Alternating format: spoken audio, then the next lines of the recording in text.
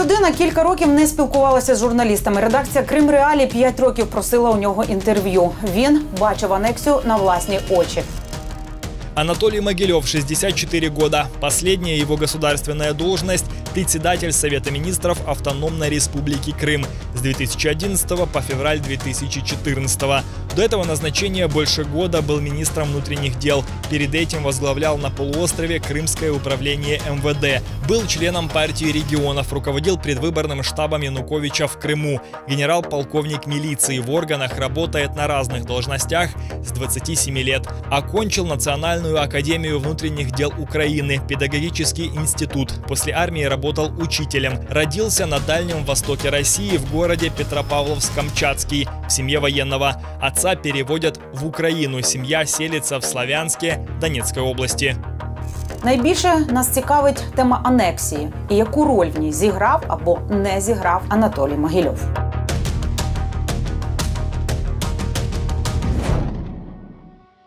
Клички никакой я не имел. Он отрабатывал всегда российские интересы. Эти хозяева это кто? Ви не могли цього не знати. А Потому что, так сказать, есть ястребы. Не в изгнании, так сказать, как в эмиграции какой-то. Ну, о чем речь? Я, я так сказать, понять не могу. Ну, о, о чем речь? Где? У себя в квартире? На кухне? ползали на коленях в кабинет Могилева. Ну, это бред, вы извините. Черную кошку в темной комнате. И- и- информационная война, она идет всегда. Всякие там Донецко-Макеевские им не читать. Спрятаться, молчать и ни о чем не говорить. Вы там, пожалуйста, э, как- как-то разберитесь. Але ви могли розрулити там ситуацію. Каким макаром? В Крыму было достаточно сил и средств для того, чтобы противостоять любому вторжению. Любому вторжению.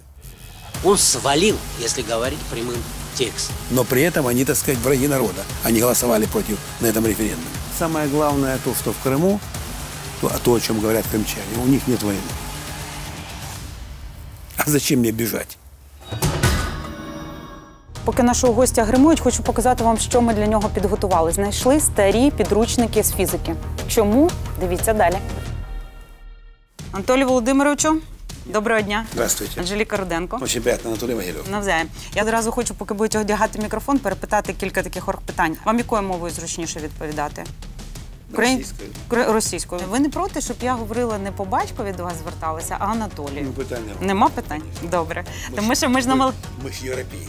а, й- а ми- а ми на молодіжну аудиторію працюємо. можемо працювати. Ви фізик за фахом. Чому обрали саме цей фах?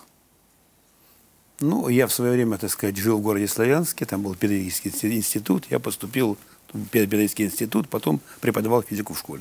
А чому саме фізика? Ну, предмет, который мне, мне был наиболее близок из тех, которых я учил. Вообще-то физика – это наука всех наук изначально. Философия и физика. Ми підготували для вас невеличкий сюрприз. Ви за такими підручниками викладали.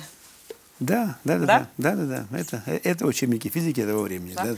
А пам'ятаєте взагалі ще, в принципі, Ну, Теорію? Я, я не сказать, что я пом- помню все, но большую, большую часть я, я думаю, помню. А ви б хотіли перевірити, чи ви пам'ятаєте? Ну, давайте Да? попробуем. От давайте спробуємо. Наприклад, перший закон Ньютона. Я, я чесно скажу, в мене підказка. Я е, по Закон- підручнику за восьмий клас е, знайшла, де цей параграф, скажімо так.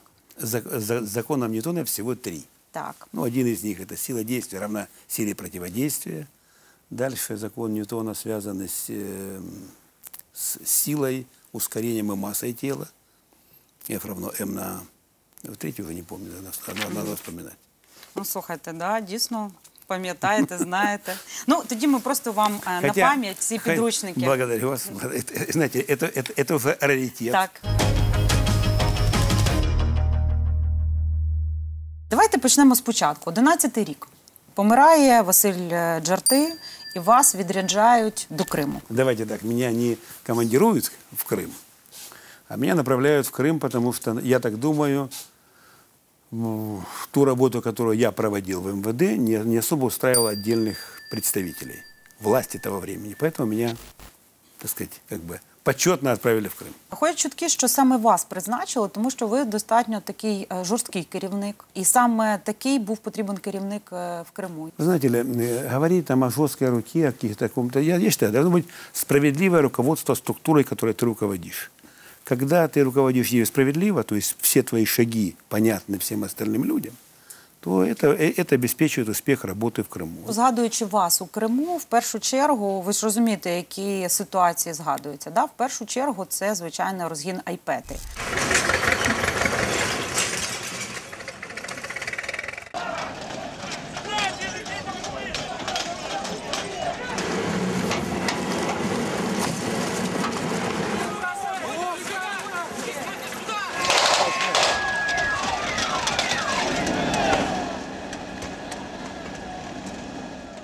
Милиция там исполняет решение суда о сносе незаконного строения.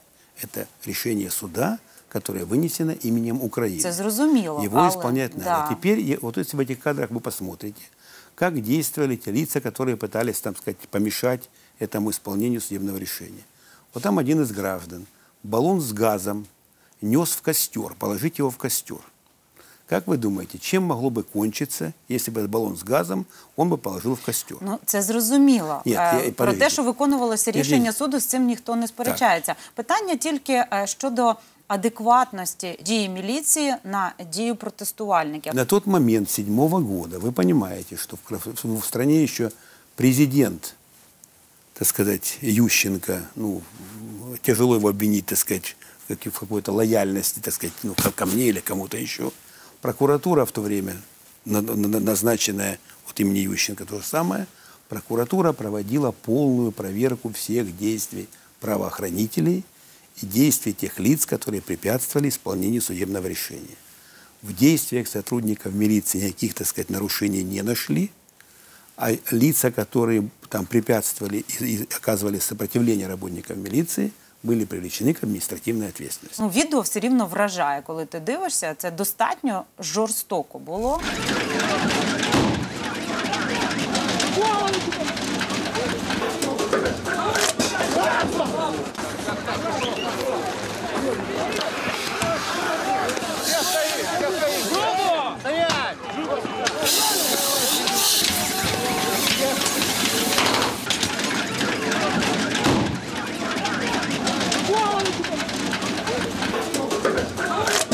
Я Е, понял, чи не перегнули тоді я, ви я, папу? я, я, я, я, Ви понимаю- там були? Ви я- там були? Конечно. Да? Я, я, я понимаю, о чем вы говорите. Государство в лице полиции – это всегда аппарат насилия. Оно понуждает людей исполнять нормы закона, которые установило государство. Вот на тот момент норма закона, вынесенная судом от имени, опять же, Украины, о сносе этих зданий. Обязательно к исполнению всеми. Зачем этому препятствовать? Это вынесено уже решение. Его можно обжаловать в другой инстанции суда. Право на насилие у, ми- у милиции или у полиции есть и будет всегда. Учасником тих подій був Ахтем Чийгос, заступник голови меджлісу кримсько-татарського народу. Так ось а, Ахтем Чийгос е, згадує вас е, у Криму як е, проросійського політика. Давайте послухаємо.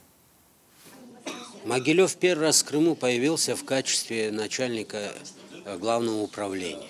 И его вот эта вот спецоперация по Айпетри против крымских татар, где были сильно избиты более двух тысяч спецпризначенцев, вот тех беркутов, которые впоследствии били и убивали наших ребят на Майдане, понимаете? Он отрабатывал всегда российские интересы. Это было очевидным для нас всегда.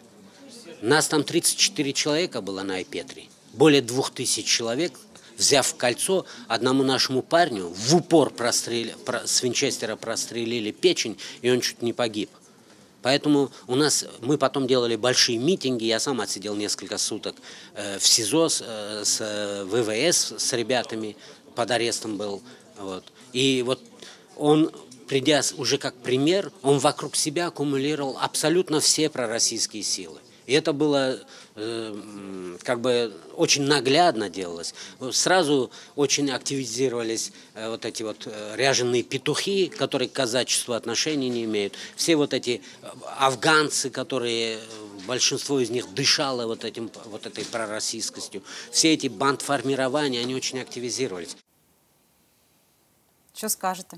Ну, это, это, это, это субъективное мнение человека, во- во- возможно, обиженного, обиженного, чувствующего себя обиженным. Ну вот давайте, по, так сказать, по словам разберем то, о чем он говорит. Вот он отсидел в Си- в СИЗО и, и ПВС, как он говорит. Он был в спецприемнике. Он был привлечен к административной ответственности в виде административного ареста за препятствование исполнению решения суда. Теперь, если говорить о пророссийской направленности. Если он причисляет всех людей, так сказать, в Крыму или все общественные формирования по российским силам, то он не прав, мягко выражаясь. Это мягко выражаясь. Вообще-то вот давайте разберемся. Выборы были в 2010 году, да, в 2010 году выборы в Верховный Совет Крыма. Сколько набрала, так сказать, э, российский блок в Крыму? Два или три депутата были всего от этой сил. Остальные были все депутаты от других политических партий. О каких пророссийских силах он может говорить? То, что Крым в большей мере говорит на русском языке, ну, это объективный процесс, который никуда не денешь. Большая часть населения говорит на русском языке. Это объективно. Поэтому говорить о пророссийских силах довольно тяжело. Смысла никакого даже нет. А ви знаєте, як вас називають в Криму?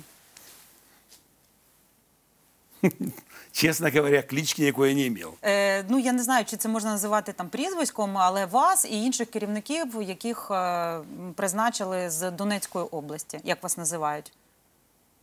Дончанами нам называют. Е, називають, е, я вам скажу, як македонці. Имеется Макеевка и Донецк. Да, Макіївка і Дон- Донецьк. Наприклад, е, дуже цікаве інтерв'ю, якщо ви читали, дав е, Рустам Теміргалієв, ваш колишній заступник, однопартієць. Так ось яку цікаву думку він висловив.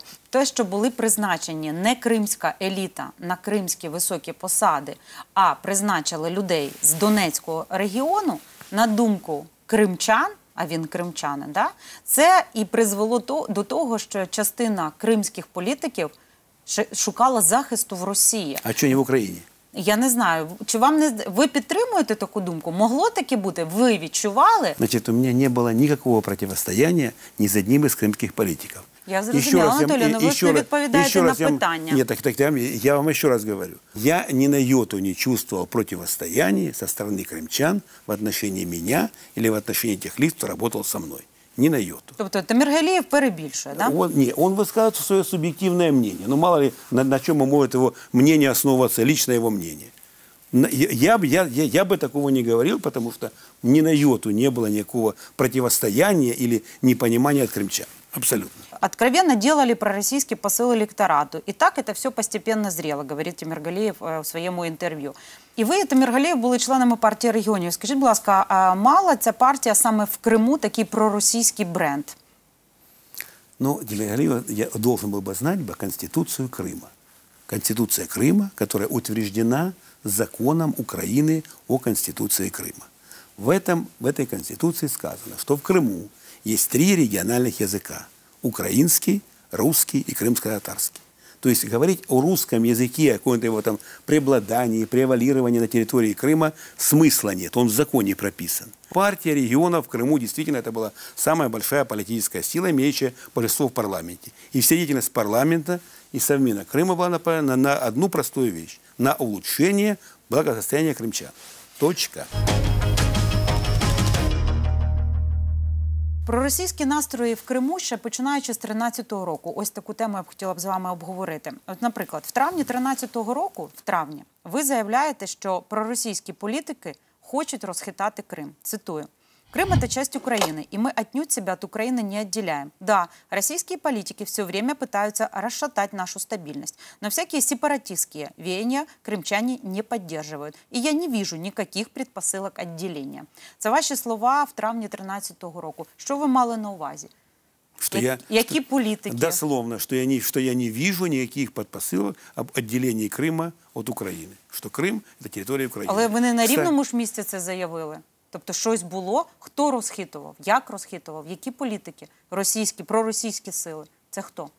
Нет, ну, по- отдельные, отдельные крайне правые политики России постоянно высказывали мысли о том, что Крым – это территория Российской Федерации, необходимо ее возвращать и так далее. Об, об этом говорили постоянно. Поэтому в контексте тех каких-то выступлений, там, я знаю, там, кого-то из политиков российских, в то время мог такое сказать. Но я твердо сказал, что, что Крым – это территория Украины, и ни о каком отделении речь идти не может Це зрозуміло. вообще. М- Мені Это, просто кстати, цікаво, в то- на підставі это- чого, е, після чого ви Ну, робите это могло таку... быть выступление какого-нибудь политика российского, ск- так сказать, крайне правого. Там что, так сказать, есть ястребы. Поэтому кто-то такой, если кто-то такое сказал, я это опроверг. Скажіть, будь ласка, ви от в кримській владі за рік рівно до анексії не помітили якихось змін в поведінці Аксьонова, Константінова? Нічого не було для вас якогось такого дивного, скажімо? Абсолютно. Это был, бы- была, была обычная рабочая обстановка, ежедневная, которая про- происходит на территории, так сказать, ну, региона, области или, или республики. Обычная рабочая обстановка. Пан Сінченко, давайте послухаємо, що саме він помітив. Я вам могу сказать, что, ну вот как крымчанин, что, допустим, за год до Майдана э, вся публика типа Константинова э, это люди, которые вползали на коленях в кабинет Могилева. На коленях. Они заглядывали в глаза и вот, э, э, открыв рот, аплодировали там каждому слову, прогибались как только возможно. Но уже осенью 2013 года а, был конфликт, и уже можно было слышать от тех же самых крымских депутатов, да кто эти макеевские, да мы их вообще ни в грош тут не ставим. И, и вот пошли разговоры по смене правительства. То есть это означает, что появились другие хозяева. Что это хозяева, которые воспринимались вот всей этой крымской, извините, басотой, э, околополитической, а скорее криминальной, воспринимались как серьезная сила, э, и всякие там Донецко-Макеевские им не чита. Эти хозяева это кто? На тот момент в Верховной Раде Крыма от э, силы Аксенова, как назывался русский блок, или как такое название куда было, не помню точно В, в- в парламенте, в, в крымском парламенте было три депутата. Три. Из большого числа, их там около, там сколько, сколько там было, 60, по-моему, там было у нас. Или 100. Три. Они играли какую-нибудь роль? Нет. А кто заползал в кабинет к Могилеву? Ну, пускай скажут фамилии, кто ко мне заползал. Ко мне? Ні, Нет. він конкретно Ко мне. говорить про Аксьонова і Константінова. Ак- Аксенов на тот момент никакой, так сказать, силы не имел. Бу- Поэтому о каких-то пророссийских настроениях или движениях, если бы они появились, я бы сразу их пресек. Их не было вообще. Тобто ви не відчували. А ви Абсолютно. знали, що Константінов і Аксьонов дуже часто їздять в Москву? Значит, ну, во-первых, у нас очень много проводилось культурных мероприятий, связанных с Россией. Проводился фестиваль русского слова в Крыму. Это была, так сказать, традиция еще, заложенная там не знаю, с 50-х годов. И поэтому по этой линии культурного обмена постоянно е- ездили делегации Верховной Рады в в Россию все, все эти годы. И до меня идут жарты, и до еще там, не знаю, там до Советского Союза начиная. Это было обычное явление. Вот Это так. А почему вот в Крыму говорили на русском языке? Ну там, там спокон веку говорили на русском языке, и это заложено было в Конституцию Крыма. Разговор на русском языке. Більшість політиків, які тоді працювали в Криму, зараз, через 5 років, говорять, що тепер чітко зрозуміло, якщо тоді вони підозрювали, зараз чітко зрозуміло, що це готувався сценарій російський. Він проглядається у всьому. І що, наприклад, вам що закидають, що ви не могли цього не знати. С позиции главы Совмина Крыма. Какие источники информации у меня есть? Вот с позиции главы, главы- гла- главы Крыма. Я не, не, не руковожу разведорганами, службами безопасности, МВД не руковожу, никакими силовыми структурами и так далее. Дипломатической деятельностью я, в Крым, Крым не ведет. Какие источники информации у меня могут быть? От учителей, врачей, дворников. Давайте мы не будем передергивать факты, пытаясь найти, э, так сказать, черную кошку в темной комнате. Мы пытаемся понять, вот кто как-то в этом виноват. Речь идет о том, что на момент вот захвата э, зданий Крыма и на момент аннексии Крыма необходимо при- принимать те, те меры или те, ну, те, те действия, которые предусмотрены украинским законодательством. Вот почему по этим всем планам этих действий не сделали? Почему? Ответ простой. Возможно, кому-то, кому-то, кто желал такое, так сказать, наступление именно такого результата, эти действия не предпринимал. Тот, кто мог их принять. Я имею в виду его президента на тот момент, нашей страны, Турчинова. Версія того ж пана Сенченка, чому, на його думку, це виглядало так, як е, сценарій, який заздалегідь готувався. Он стал с 2010 года активно ездить в Москву и явно возвращался не с пустыми руками, с указаниями и с ресурсами. Эм, Что э, происходило дальше? Константинов. Ну, я не знаю, на каком этапе они его э, ну, практически завербовали. В конце, наверное, октября, если я не ошибаюсь, 2013 года Константинов в последний раз э, ну или в очередной раз, точнее, летал в Москву и, вернувшись оттуда, он вызвал руководителя юридической службы секретариата Верховной Рады Крыма и поручил подготовить для него весь пакет документов, касающихся акта 1953 года. То есть э, уже вот это уже был этап погружения его в сценарий. Ну, предполагать, что это могло как-то влиять на действия Константинова, который уже рассматривал вопрос чуть ли не отделения, но это бред, вы меня извините Те, що готувався сценарій російський, ви не відчували. Нет, сцена... в- если говорить о сценарии, то если взять, например, э, 94 год, когда, помните, в Крыму, был при- в Крыму э, назначили нового президента, Крым, Крым там уже отделялся, так сказать, чуть ли не отделялся, в Крыму уже вводили российский рубль, то есть как бы э, идея того, чтобы Крым, так сказать, вернулся в Россию или пришел, э, ушел к России, она была давно. Но на тот момент, 94 года, как умно поступила украинская власть на тот момент. Из Киева при возникновении этих угроз уже, когда там разделение полностью властей уже, одна власть украинская, вторая власть Мешкова, такая пророссийская, из Киева приехала делегация Кабинета министров Украины. Они сели за стол со всем бомондом крымским, обсудили все эти вопросы. Крым получил конституцию, Крым получил автономию, и Крым получил определенный там целый ряд прав и свобод, так сказать, ну, в, в рамках Украины.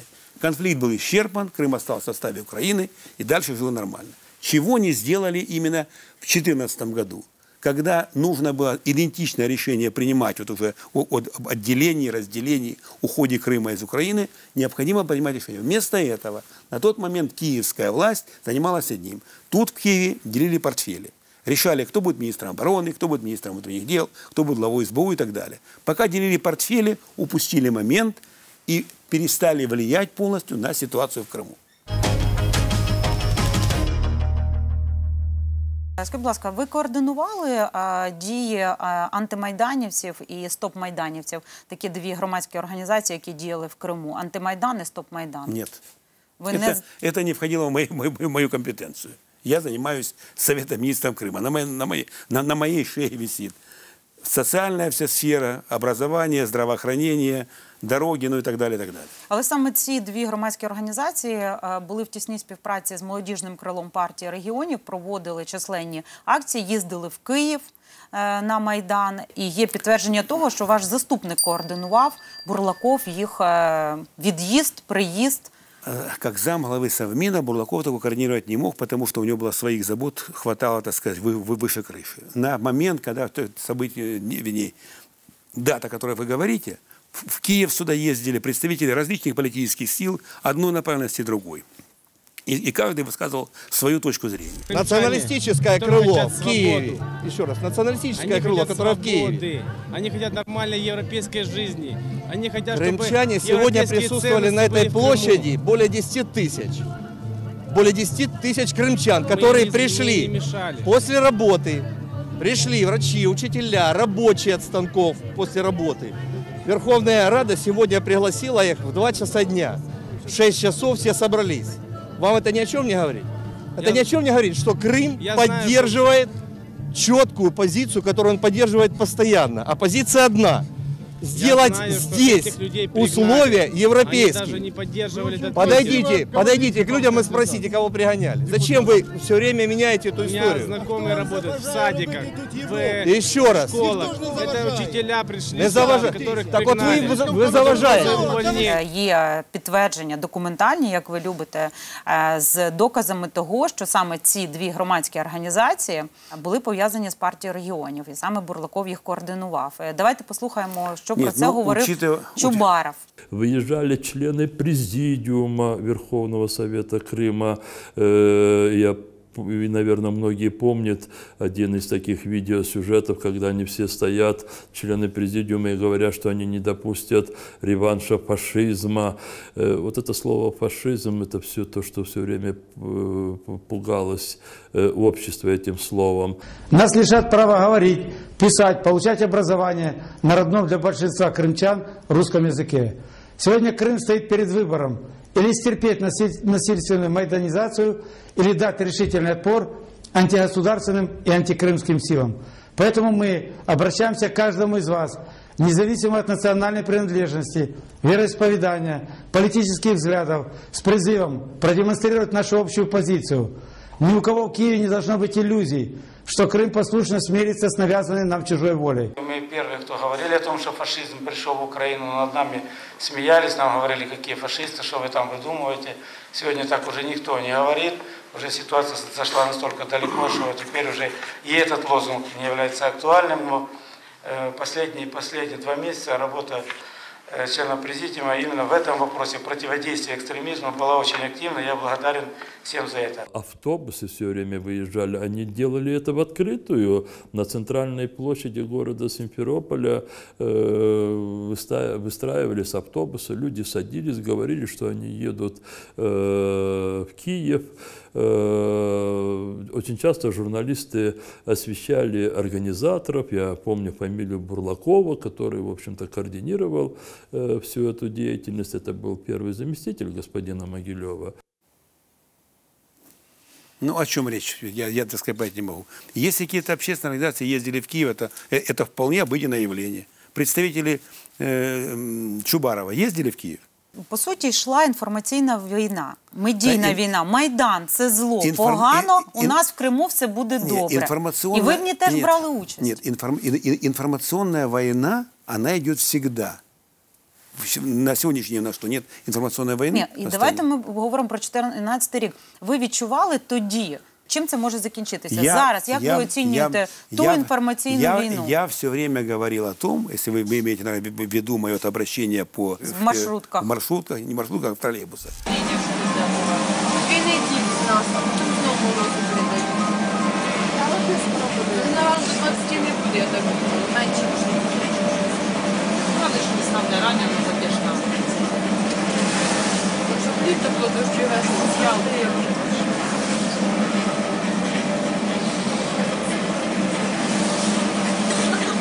весело, з'яли,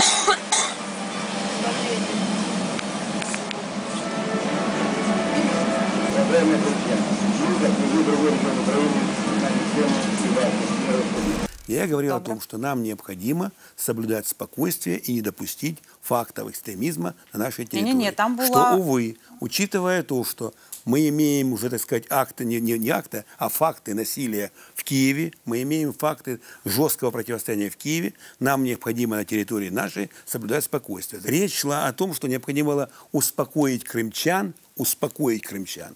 И крымчанам дать, так сказать, как бы э, уберечь их от, от, от- от- непонимания той ситуации, которая происходит. Чекайте, пане Анатолію, ну ви- ви- вибачте, е, заспокоїте чим? Фразами їхня мета анархія, економічна розруха, не допустимо помаранчевого перевороту, ні іноземному втручанню, захистимо кримчан. Це так ви заспокоювали? Ну, вот давайте так. Вот теперь на, на- на сегодняшний день, уже спустя пять лет, мы говорим, мы, мы получили анархию или нет в системе госуправления? Получили. Давайте не про Ра- зараз, а про разрушение тоді проме- говорити. Ви не Проговорил- заспокоювали, я- ви розділяли я, уп- на я упреждал Київ о том, і на Крим. Ось я, так? у- я упреждал а, на то, что это может привести к печальным последствиям для страны. Что на сегодня мы и получили у нас в стране. Ви в Мы Криму получ- досягли своєї мети ось такими такою інформаційною кампанією? На тот момент никаких, так сказать, происшествий и противостояния в Крыму между людьми не было, без сомнения.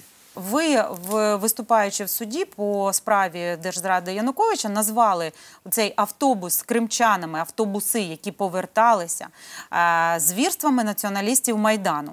Так само говорить і російська пропаганда. Е, Але Ні, я факти говорю о свідчать реаль- про інше. о реальних фактах А я на говорю. чому ваші факти ґрунтуються? Потому что я сам видел эти автобусы, фотографии их сожженных автобусов. Постраждалі і померлі є. А, Нет, умерших, слава богу, нет. Ви бачили взагалі реальні кадри тих людей, які були в автобусі? Ви хоч раз їх бачили? Я видел сожженные автобусы. Ні, а к- факт е, Давайте кадри посмотрим. лю- давайте.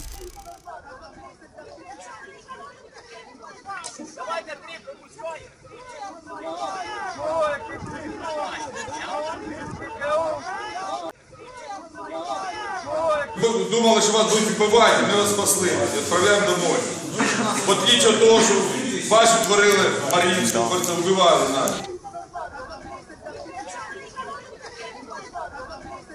Каждый человек, который совершает какие-то противоправные действия, его виновность в этом должна быть доказана.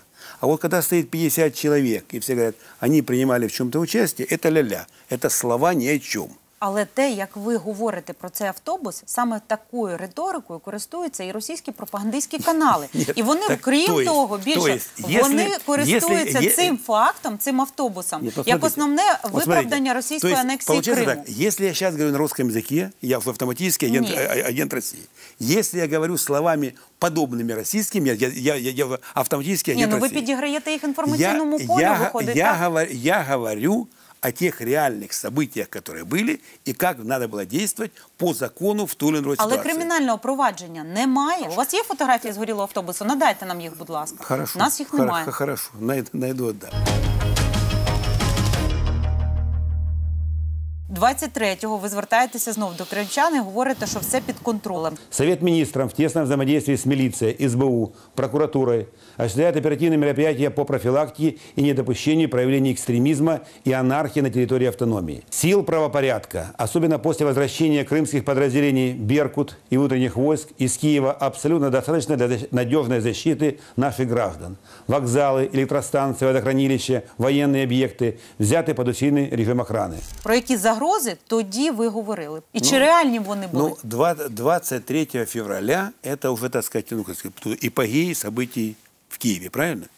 В принципе, ну, по большому счету, учитывая, что здесь уже пролилась кровь, и уже, так сказать, с- с- э, ситуация накалена до предела, возникают угрозы для самой страны. Вот поэтому это Які я говорю. були реальні підстави непокоїтися через ці загрози київські в Криму? Все смотрели, так сказать, ну как, с непониманием, что происходит в Киеве. Я, я успокаивал всех, говорю, в стране будет наведен порядок, все будет нормально. Тобто це була ваша реакція Конечно, на київські конечно, події? конечно, я должен был что-то говорить своему региону. Я ж не мог з- спрятаться, молчать и ни о чем не говорить. 27 лютого, після захоплення будівлі Верховної Ради, ви знов звертаєтеся до кримчан. Сейчас властью Крыма создан штаб по урегулированию этой, кри- этой ситуации, которая, в принципе, сейчас кризисная. Значит, я предлагаю всем не приближаться к кварталам, в которых находятся приличные здания, потому что лица, которые находятся там, они вооружены. Все, кто находился в зданиях Совета Министров и Вер- Верховной Рады Крыма, они выведены из здания этими людьми, корректно выведены. Сотрудникам милиции, которые находились там, возвращено их табельное оружие. Лица, которые находятся в зданиях, никакой агрессии не проявляли. Сегодня в Симферополе, учитывая такую ситуацию, объявляем выходным днем, госучреждения работать не будут. Мы будем постоянно информировать по всем событиям, которые будут развиваться на сегодняшний день. Все находится, в принципе, под контролем, идет переговорный процесс. З ким і про що ви вели переговори? Я, я оди- один из всех, так сказать, кто, кто был, так сказать, из властных лиц в Крыму, я ходил к зданию Со- Совета Министров и через разбитую э, разбитое стекло двери разговаривал с лицом, находившимся там в балаклаве, маске, с, ну, с оружием человеком. Я ему сказал, что «В- кто вы такие, какие ваши требования, и кто уполномочен, так сказать, э, ну, о чем будем говорить сейчас. Он, этот человек мне ответил, что он, говорит, не уполномочен. Я оставил ему свой номер телефона. Говорю, будьте добры, пускай мне позвонит тот, кто уполномочен говорить с представителем власти, то есть со мной. После этого я ушел. Поэтому переговоры закончились именно тем. Я оставил ему свой номер телефона, звонка ко мне так и не поступило. А после этого все мои обращения в Киев с предложениями о том, что необходимо делать в данной ситуации, я был до этого и министром внутренних дел, и членом РНБО, я прекрасно понимаю алгоритм действий, который должен быть. Это тут не нужно выдумывать велосипед. Там все прописано, собирается РНБО, слушаются доклады всех лиц, которые там есть, принимается решение РНБО, это рекомендательное решение для президента. Президент решает вопрос о введении там или военного положения, или проведения АТО. Если АТО проводит его СБУ, если военное положение указ президента, утверждается Верховной Радой, все, и, и начинается весь комплекс мероприятий на территории Крыма. Що ви конкретно пропонували в Київ? Я предлагал в Киеву ввести или военное положение, или проводить антитеррористическую оп- операцию, исходя из, той ситуации, которая была. Я всех собрал, всех силовиков, хотя это не моя компетенция, но тем не менее я их собрал в здании крымского главка, при мне по, по телефону ВЧ, каждый из них доложил по своей линии наверх о, о той ситуации, которая была. Мы посмотрели видеозапись людей, заходивших в здание Совмина, так сказать, мы сняли с камер видео- видеонаблюдения, изучили там эту картинку, и при мне все они доложили в Генеральную прокуратуру, в Минобороны, в Министерство внутренних дел, в СБУ и в командующий утренних войск. Я по своей линии доложил в администрацию президента. Ви После- Турчинову тоді доповідали? Я вже? доповедал Сенченко, он был зам главы администрации президента, с Турчином не разговаривал. С Турчином, по-моему, Сенченко разговаривал, с кем-то еще из администрации, не помню. Все эти товары, я, в- я в ответ сказал только одно. Подождите, мы, мы думаем, принимаем решение. Потом еще говорил с Наливайченко, в то время он уже ИО, главы СБУ. Ему изложил ситуацию. Наливайченко был до этого тоже главой э, СБУ, понимает алгоритм действий, без сомнения. Турчинов был главой СБУ, понимает алгоритм действий. Я им предложил одно и второе. Ждите, мы думаем. Вот мы ждали и думали два дня. Потом звоню, говорю, меня сейчас будут снимать с работы. Верховная Рада имеет право мне с работы снимать. Вы решение примите. А Чому ви вийшли е, до людей е, з парламенту Криму і сказали, що там сидять невідомі люди? В 4 утра здание Верховного Совета Крыма и Совмина Крыма были захвачены неизвестными. Опишите, пожалуйста, их, как они выглядят, что у них за оружие. То есть, на- насколько вы видели людей, вот свое впечатление, пожалуйста. Ну, я, я, я видел только одного человека, о котором говорил, который одет, ну, скажем так, в полевую форму, только без знаков. Оружие. Какой они национальности? Можно это когда Я думаю, славянский. Ви підозрювали, що це були Нет, росіяни? я, э, то, что это по национальности русский, говор, без, естественно, российский, ро- российский говор. Но это вооруженные силы Ро- Российской Федерации или россияне частного кода военного формирования. Я что-то утверждать не могу. Я свои до- должностные инструкции в полном объеме, я их выполнил. Я, более того, собрав всех силовиков и предложил им говорить. Я в какой-то мере, так сказать, ну я, я же не, не, не приказ им издавал, что то принимайте такие, такие меры. Я им сказал, что вам необходимо докладывать по своей линии. При мне все доложили по своей линии наверх. После этого... Тобто ви здесь- володіли повністю інформацією, ви знали про все вже. І Я- що доповідали силовики, по суті, ви да, теж володіли да, цією я, інформацією. Я, прек- я прекрасно понимал после таких докладов, какие должны быть действия в соответствии с действующими нашими нормативными документами, которые есть в, в стране. Ви точно володіли всією інформацією. Ось що про нам про це розказав от пан Чубаров тоді. Я смею утверждать, я это утверждаю, что 26 февраля, в тот день, когда мы проводили э, по призыву Меджлиса крымстарского народа, э, ну, более 10 тысяч людей вышли к Верховной Раде Украины. В основном это были крымстатары, но там были и украинцы, там были люди других национальностей. Тогда уже Верховная Рада Крыма, она была уже э, ну, заполнена определенным количеством людей, особенно шестой этаж возле кабинета Константинова. Я тогда грешным делом подумал, что это представители СБУ, но потом все-таки выяснилось о том, что это представители совершенно иных служб. Профессионалы, то есть э, СБУшники, не могли этого не знать.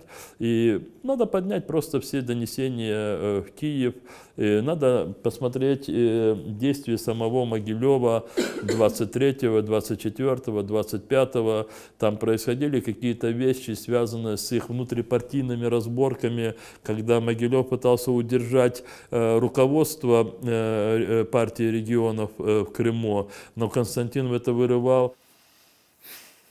Ну, о- чем речь? Вот эта власть, которая на сегодняшний момент уходит уже из политической жизни нашей страны, именно она виновата в том, что не обеспечила соответствующих приказов нашим людям в Крыму на тот момент по противодействию агрессии. И более того, цинично не проявила никакой заботы о тех лицах, кто остался там.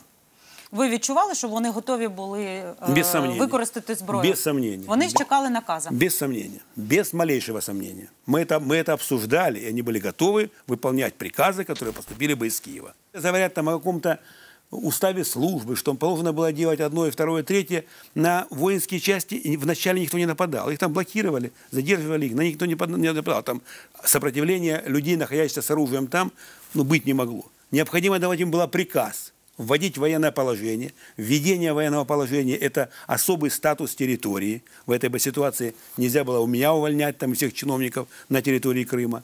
Но в этой ситуации мы бы перед всем мировым сообществом выглядели бы как страна, которая себя защищает и которой нужно помогать. А когда страна плюнула на, на всех людей, находящихся в Крыму, махнула на них рукой, бросила своих всех людей в погонах. А потом еще их пытается обвинить в том, что они в этом виноваты. Один з основних закидів до вас, що ви тихо, мирно здали свою посаду і пішли. И то, что он незаконным действием парламента, зная, что их собрали 27 числа э, под, под, под автоматами, и вышел с такой вот миной, что э, он подчиняется якобы принятому решению об отставке, все это лишний раз характеризует, что он приспособленец и, в общем-то, никогда не болел Украиной. Если бы он не занимал столь ответственной должности, которые по его э, функциональным обязанностям он должен был нести ответственность за вот этот самый сложный период в Крыму, а он просто бросил на откуп оккупантам и вот тем бандитам сотни тысяч наших граждан. Он свалил, если говорить прямым текстом. Верховна Рада знімає мене з роботи. Які Вони нелегітимно вас зняли. Ні, Вони не мали ні, права то, вас знімати. То, що вони мене знімають нелегітимно, поддержка у меня от кого? От Києва? Нет. Поддержки такой Ну нет. це нелегітимно. Стаття 12 закону України про Раду міністрів АРК. Вони мали погодити звільнення вашої кандидатури з президентом. На той момент виконуючим обов'язки був Турчинов вже. Вони не погоджували. Ви погодилися з нелегітимним рішенням. Чому ви з ним погодилися? А, меня кто-то в Киеве поддержал, чтобы я с ним... Ні, чекайте, а чого ви там в Криму погодилися Ні, а а з тим, що а якісь люди а какие- захопили нет, нет, парламент, секунду, смотрите, а ледь какие- назбирали 53 какие- депутати. Какие у меня есть нити управления, нити даже управления. Вот я, я не в своем Ну ви не погоджуєтеся Ну і дальше що? і продовжуєте свою роботу. На- где? У себя в квартире? На кухне? Каким образом эту Ну, ви работу- мали хоча б заявити, Нет, що рішення если бы- про если ваше б- звільнення е- нелегітимне. Если бы, если бы мы, и не, не- не мы, я имею в виду, мы это Украина, приняли решение соответствующее в Киеве, и я получил киевскую поддержку, тогда о чем-то можно говорить. Що таке київська підтримка? От ви не Киевская- раз говорите в інтерв'ю Киев- про Ки- це. Киевская підтримка – это введение или военного положения на территории Крыма, или проведение антитеррористической операции. В этой ситуации я взаимодействую с вооруженными силами, которые могут противостоять агрессии. Вот перед вами сижу я. По соответствующим решениям суда, ну, в принципе, так сказать, глава Совмина Крыма, там, сказать, пусть там не в изгнании, так сказать, как в эмиграции какой-то. Кто-то из киевской власти со мной о чем-то разговаривал по этому вопросу? Нет. Мы никому не нужны вообще. Почему? Это вопрос, опять же, к власти. Вот э, летом было принято решение о том, что увольнение, так сказать, э, главы Совмина, решение все о референдуме, все, все решения э, Верховной Рады нелегитимны. Решение что такое есть. Кто-то потом какие-то вопросы поднимал по этому вопросу? Нет. Почему? Потому что им не нужен. Я начну задавать неудо- неудобные вопросы, начну их обвинять в том, что именно эти люди сдали Крым. И в итоге мы получим то, что получим. Поэтому, говорю, сейчас вот Державное бюро расследований по этому вопросу будет разберется до конца. Изъяв все документы, допросив всех людей, я готов давать полные показания по этому вопросу. И там поставят точки над «и», кто в этом виноват. Кто виноват в той бездеятельности, которую допустили Багато хто кажуть, хто що хаос був в Києві, да?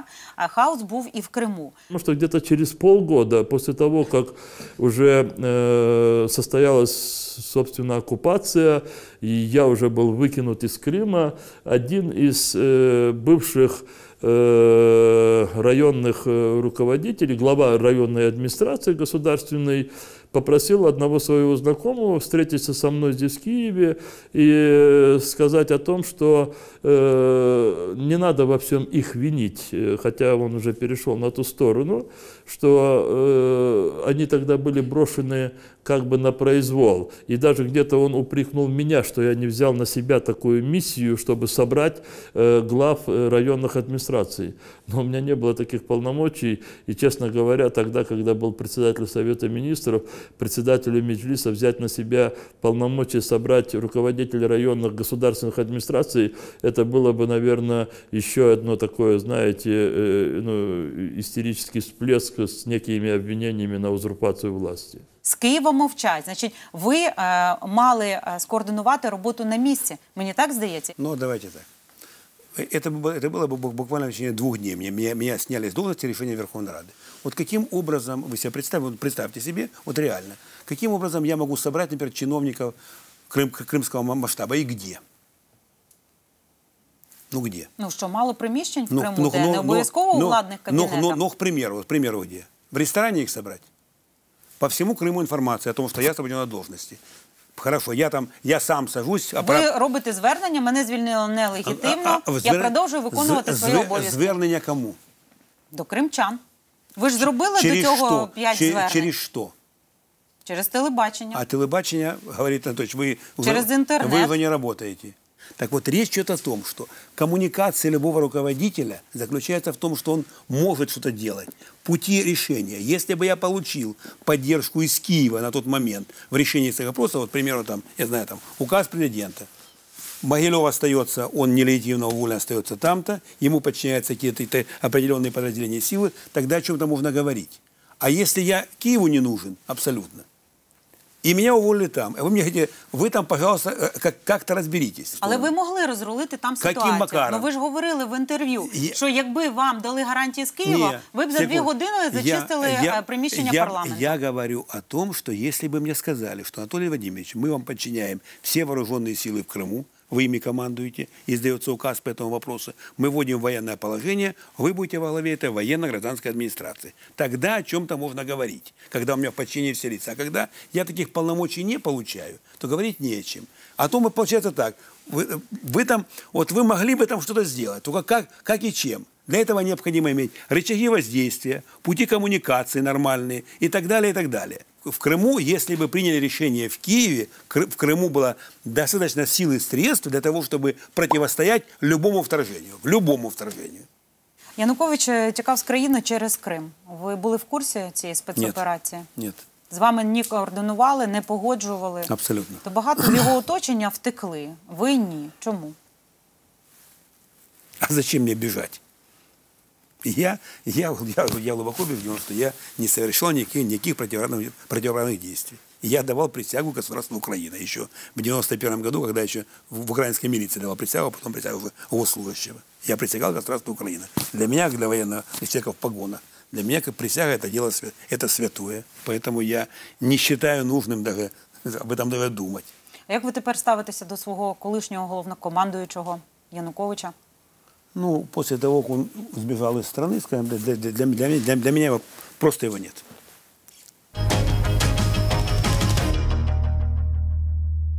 Ви слідкуєте за подіями в Криму? Самое главное то, что в Крыму, то, а то, о чем говорят крымчане, у них нет войны. Мысли, которые убивают крымчанам или доносят Мгм. крымчанам постоянно, о том, что благодаря приходу Российской Федерации у вас нет войны, эта мысль во многом как бы успокаивает крымчан. А Сам- що зараз Україна може зробити для кримчан? Ну, во-первых, минимизировать отторжение Украины, э, крымчан от Украины, минимизировать. Наприклад, це ви про що? Ну, на- на- например, не- не- необходимо устанавливать какие-то связи крымчан, хотя бы какие-то экономические связи с крымчанами устанавливать надо. Мы почему-то можем, э, так, к примеру, там, покупать российскую нефть и газ, а продавать в Крым воду мы не можем. Из-за этого, кстати, страдает еще и Херсонская область наша. Для вооруженных сил, которые находятся на территории Крыма, влада крымская или российская воду найдет. А для населения вопрос. Мы считаем их крымчан гражданами Украины? Мы считаем гражданами Украины Но при этом мы, так сказать, они вроде как территория Украины, граждане Украины, но при этом они, так сказать, враги народа. Они голосовали против на этом референдуме. Що ви думаєте про арешт е, Сінцова, Кольченка? Для того, чтобы обсуждать какое-то задержание или арест, необходимо эти материалы видеть. Ну, невозможно говорить, кого-то арестовали, правильно или неправильно. И я эти материалы не видел, по- поэтому не, не то говорить. Есть какие-то А тої репрессии. інформації, що є в мас-медіа, вам недостатньо для Э, свого, ка- своєї как- думки, Как юристу нет. Я, а не юристу, ну, я- ну, як людині. Не, ну я, я, я, я, я, я, я, э, я всегда сомневаюсь. Я не убежден, что это объективно. С точки зрения, чел- так сказать, м, гуманности, человеколюбия, э, любая, если в любом уголовном деле есть какая-то политика, то, это- то это не гуманно. Это, это- этого допускать нельзя. Ви буваєте в Криму? Нет. Не буваєте в Криму, не хочете, боїтеся. Нет, Проблем ну, да- якихось? давай- давайте так, слово, с- слово э, э, «боюсь» говорить не надо. Это, это неправильно абсолютно. Просто, просто нет желания, знаете, или, ну, как бы... эм, я считаю, что морально, морально очень тяжело. То есть Крым это для всей Украины морально. И, и для крымчан то, то тоже тяжело морально, поэтому не хочу. У вас там дача в Коктебелі. Да, Яка її доля? стоит. Не переоформлювали, не продавали. Нет, нет, нет, абсолютно. Хтось за нею доглядає? Ну, там? конечно, да. Да? Минуло 5 років е, після анексії. Що ви робили всі ці 5 років? Чим займалися? Де працювали? Первые, первые три года я интенсивно ходил на допросы по всем уголовным делам, какие только есть в Украине. Це Меня до- скільки їх? Меня допра... Сколько Скільки дел? справ, по Ой, яким это, ви это очень свідчили? много. Меня, меня допрашивала Генеральная прокуратура, СБУ, военная прокуратура, прокуратура Крыма. Ну, и а там- які це справи? Держзрада Нет, Януковича? Що это, ще? это, это дела касались аннексии Крыма, потом дела, которые были на Майдане, потом б- дела в отношении отдельных чиновников крымских, которые там возбуждались дела. Ну, вы же понимаете, что вообще-то было боль- довольно большое желание найти какое-то неправомерное действие в моей деятельности. Так займалися ви з чим ці п'ять років, окрім того, що ви ходили на допити? Последние два года мы занимаемся с нашей общественной организацией, вначале теперь уже с партией «Незалежность», мы занимаемся оказанием помощи в большей мере юридической, консультационной помощи, иногда материальной помощи сотрудникам органов внутренних дел, которые попали в, тяжелое положение, э, семьям погибших милиционеров. Хто все це фінансує? Фина- фи- Финансируем мы все, мы, в принципе, сами. Наши, у нас есть группа довольно большая, так сказать, генералов, полковников, майоров, которые служили до этого. Громадська організація це ви там витрачаєте, а заробляєте ви де? Ну, во-первых, я получаю довольно большую пенсию. Потом а я, яку, якщо не секрет? ну, Ну, хоча б порядок, якщо можете вы понимаете, сказати. нет, ну, у, у меня, у меня есть, естественно, я уходил с- в- на пенсию с должности министра внутренних дел. Естественно, пенсия у меня максимально возможная в стране, то есть 10 минимальных пенсий в стране. Я не думаю, що Анатолій Могильов живе лише на пенсію. От якось мені дуже не Не, віриться. ну, в це. ну, естественно, у, у- у меня есть определенные сбережения, без, без сомнения. У меня есть, так сказать, отдельные э, вопросы, когда, когда мы уч- участвуем в каких-то конституционных мероприятиях. Там, там, там получаем глубокое вознаграждение. Ну, А бізнес якийсь маєте? Там, не знаю, ресторан, там якийсь Нет. заводик у, м- якийсь. у Нічого меня не нет маєте? свечного заводика, нет ресторана. Нічого не маєте. Нет. От у вас є зараз можливість звернутися до кримчан. Що б ви їм сказали?